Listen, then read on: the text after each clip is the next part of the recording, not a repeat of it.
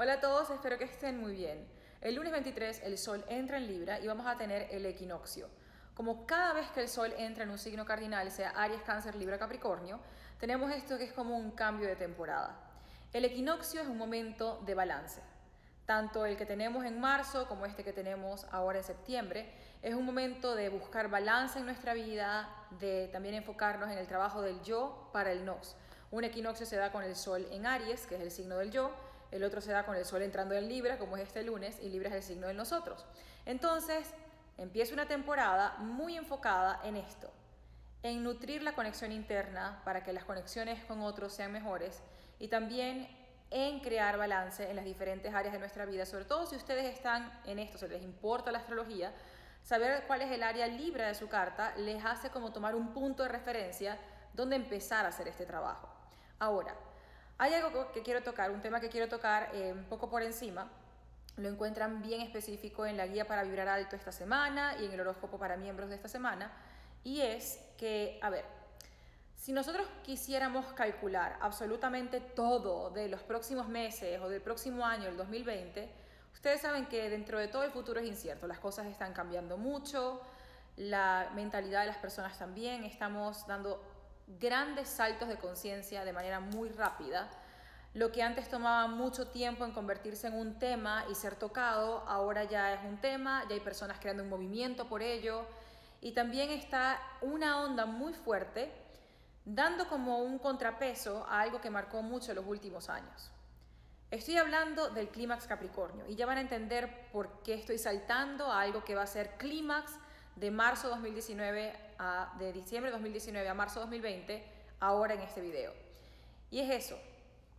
El clímax que viene en Capricornio, eh, de hecho empezó en el 2008 con Plutón entrando en Capricornio y luego Saturno entró en Capricornio en el 2017, pero ahora está llegando como a ese punto en diciembre y enero sobre todo, que nos hace preguntarnos a nosotros qué es lo que de verdad quiero quiero de verdad seguir con la ola que venía de trabaja, trabaja, trabaja, trabaja, trabaja, hustle, hustle, hustle, este, girl boss, tengo que ser una persona súper emprendedora, tengo que hacer todo esto, o estoy sintiendo más lo que en astrología se vería como, estoy sintiendo más a Urano en Tauro y a los nodos en Cáncer Capricornio, que en español, en coloquial, en una persona normal que no sabe astrología sería como, o prefiero tener un trabajo donde puedo vivir, puedo sentirme creativamente libre, puedo construir, pero también tengo espacio para mi vida. ¿Qué es lo que les decía? Estamos en una temporada donde nos hemos llevado a un punto. Imagínense que venía una ola así, en la situación Capricornio. Y ahora llega este punto clímax y esta ola revienta y va un poco contra lo que venía dándose.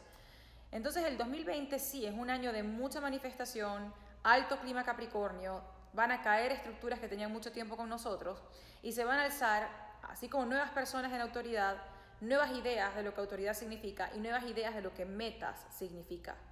Entonces, como les digo, el futuro es incierto, hay muchas cosas que no podemos prever.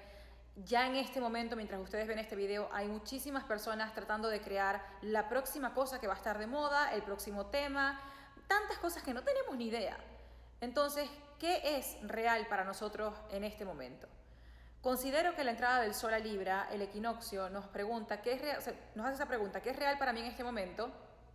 Y si nos ponemos a pensar, cada quien tiene sus maneras de ver lo que es real, no me queda ninguna duda, pero creo que todos podemos estar claros en que, por ejemplo, bases que tienen que ver con necesidades emocionales es algo que es lo suficientemente real y realmente importante para nosotros. Por ejemplo, cultivar las relaciones que tenemos, mejorar la relación con nosotros mismos, integrar partes de nosotros que no nos habíamos hecho dueños de, eh, parar proyecciones, iluminar la sombra, encender la luz en la sombra, son cosas que las hagamos hoy, mañana o en tres meses, van a ser beneficiosos para nosotros en cualquier momento del tiempo. Y la otra cosa es que con tantos cambios que vienen, ¿cuál sería nuestro verdadero apoyo y pilar para encarar todo eso? Número uno, la relación con nosotros mismos. Y número dos, las relaciones con otros. Esther Perel, una persona que yo admiro mucho, tiene esta frase que dice, la calidad de nuestra vida depende de la calidad de nuestras relaciones. Dicho esto, el Sol entra en Libra, Libra es el signo de las relaciones, no solamente de amor, y lo expliqué en el, en el video que se llama Energía Libra. Se trata de vínculos, y esos vínculos se nutren del vínculo que yo tengo conmigo. Entonces, aprovechar este momento para nutrir estas conexiones bueno, la conexión con nosotros y la conexión con otros. Ejercicios que nos ayuden a cachar nuestras proyecciones. Otra manera de trabajar con la energía, porque por muchísimos años, yo tengo ya 11, casi 12 años en esto, les he dado conceptos, videos, clases, artículos y lo sigo haciendo.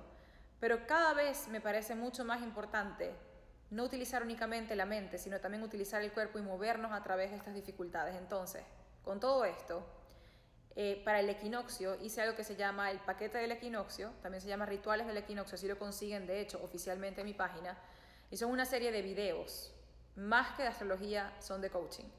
Y hay videos que son físicos, físicos porque van a mover su cuerpo, hay videos que son físicos porque tienen que hacer un ejercicio que es con dos sillas, para cachar proyecciones, para pararlas, para hacerse conscientes de cosas que no habían visto de ustedes mismos, de ustedes mismas. Entonces, así, con este paquete, este ritual, también hay un ritual, puedo ayudarles, más allá de la astrología, a aprovechar la energía disponible y de nuevo, en preparación para algo que en verdad para toda la vida, pero sobre todo a los meses por venir, donde de verdad queremos claridad para decir, bueno, aunque mucha gente quiera hacer eso, esto es lo que yo quiero. Y cuento conmigo, sé de dónde viene este deseo. Sé que cuento conmigo para manifestarlo y también siento que, cuento con otros y son este, este, este y este para moverme hacia adelante. Espero que aprovechen ese pack. Feliz equinoccio. Nos vemos pronto.